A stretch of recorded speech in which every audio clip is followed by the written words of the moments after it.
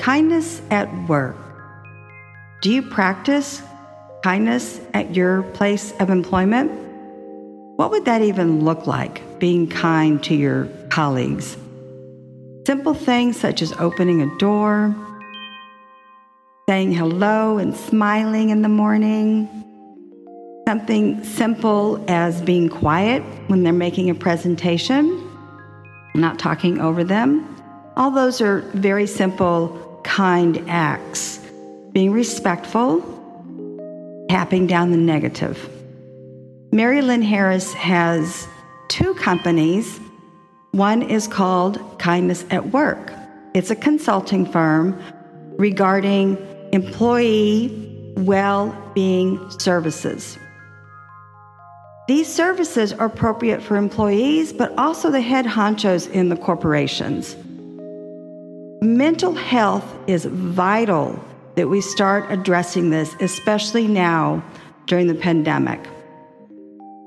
Mari-Lynn also has a wonderful podcast where she in- interviews several gurus in this industry of well being at corporate level, but even on a personal level. That podcast is called Creating an Impactful Legacy.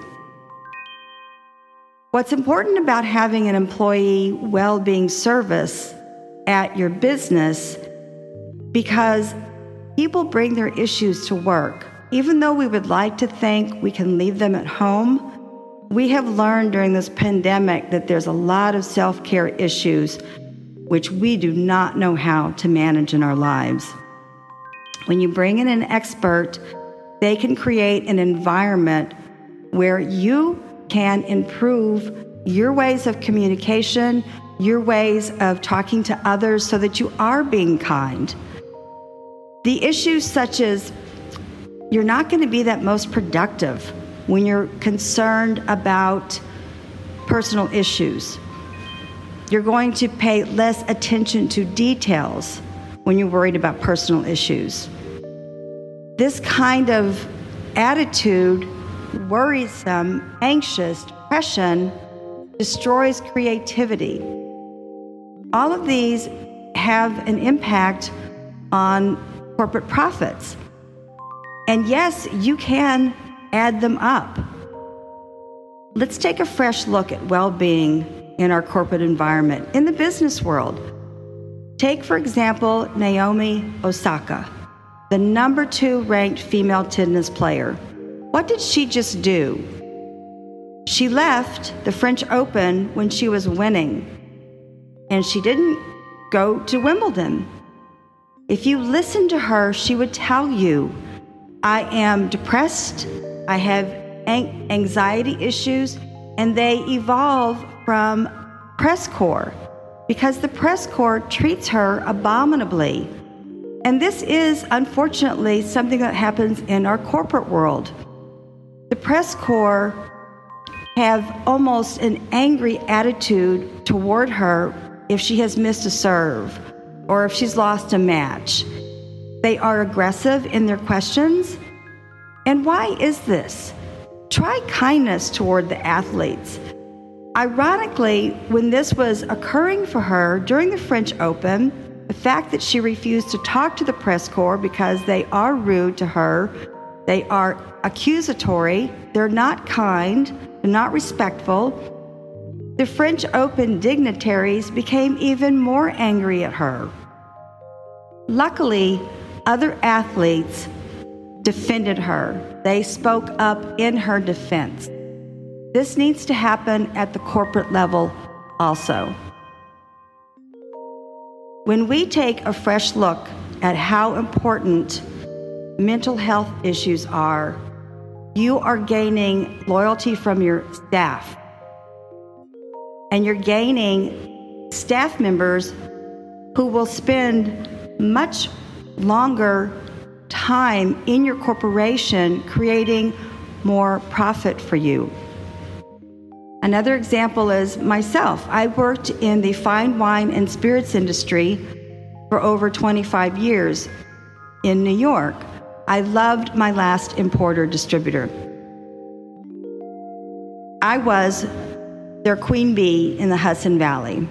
I was a top producer.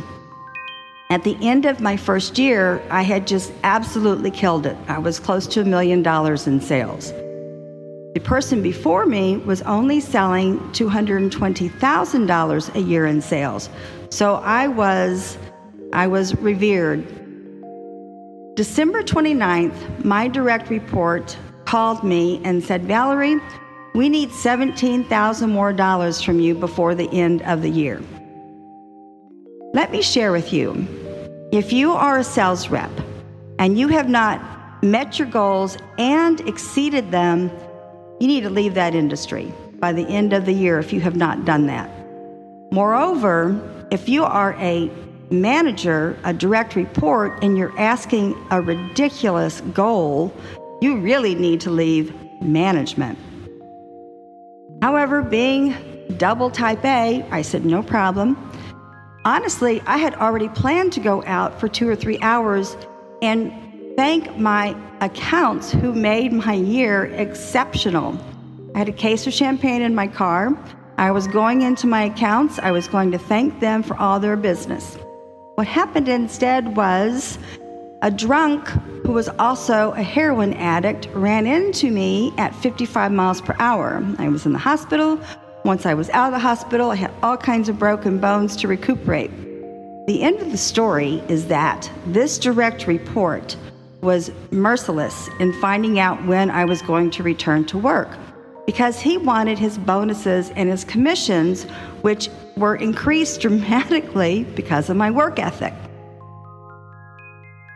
This was going on for the rest of the year after I had returned three months of recuperation, he was still relentless. What came to my conclusion to leave the industry was his lack of management, his lack of empathy, concern about my mental health, my physical well being.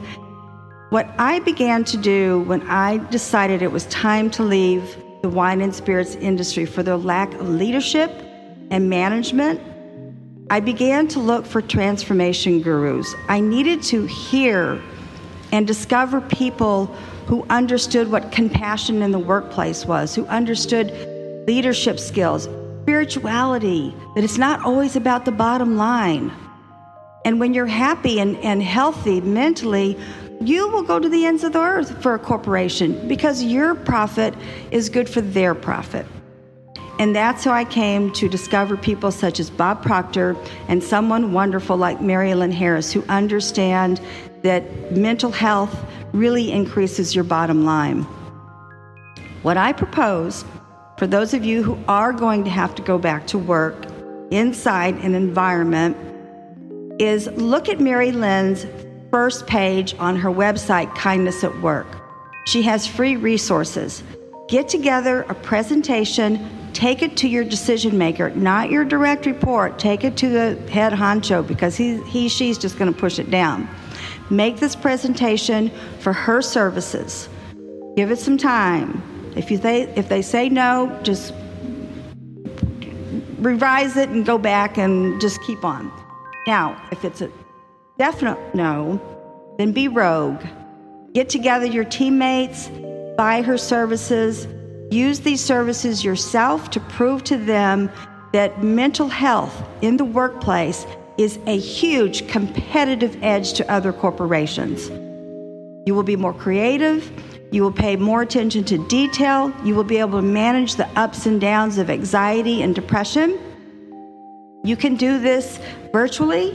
You can have these wellness services from Mari-Lynn before work, at lunch or after work. Just show these corporations that mental health is meant for everyone.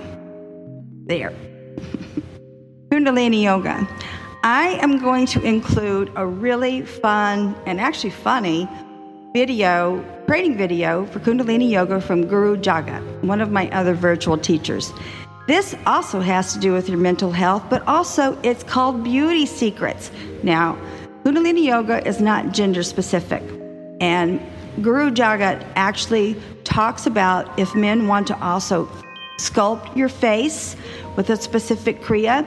You can work on your parathyroid, which also will work on your lymph nodes to cleanse them. This is a really short video. It's actually very funny because we actually exercise our breasts, but men can do the same thing. Men do have breasts. This particular video talks about oxytocin, talks about dopamine, and these Kriyas will increase production of them. And if you listen to my last podcast, you'll know that these are really good hormones to create and increase in your body. So it is called Kundalini or Beauty Secrets. It's just fun. It'll be in my podcast details. Lastly, wine. I don't know if anybody's paying attention to the Pacific Northwest in California, but I can promise you this high heat and the fires are running our food. More importantly, for those of us who are in the wine industry, it is running the vineyards. This is costing us billions and billions of dollars. We really need to bound together and do everything on a personal level and a community local level to get control of this. We're not going to have a 2022 vintage in wines. I strongly suggest you start buying wine. Honestly, there's still a glut in the marketplace, but you're not going to see it in California wines. You're not going to see a glut in wines coming from Washington and Oregon. This is a travesty, and I don't like to end my podcast on a sad note, but I live in Gulfport, Florida now. I live on the coast. I live on a bay, and we are killing the manatees. We have red tide. I was watching a video last night about a young man who is taking plantings of mangroves that he started himself, and he is creating mangrove forestations basically in the water again. And that's what it takes. It just takes a little bit at a time, folks. Do it. In conclusion, our mental health doesn't stop at the workplace. As a matter of fact, we need to bring our mental health well being services into our corporate environment. Look at Mari-Lynn's website. The details are in my podcast details. Hire her. Good stuff review her free information, start delving into it, be rogue, get into it. Kundalini Yoga, the the video link I'm going to have is one of the funnest that Guru Jagat has done. Beauty secrets is what it's all about for men and women. Lastly, let's seriously do something on a local level every day to improve our environment. If you want more information about this young man who is gardening a new mangrove gardens at the bay in, in, in his area in Fort Lauderdale, send me an email and I will help you out with that. In conclusion, I'm not a life coach, I'm not a consultant. I produce this podcast every week to help hundreds of people with just three simple, fun topics. Merci.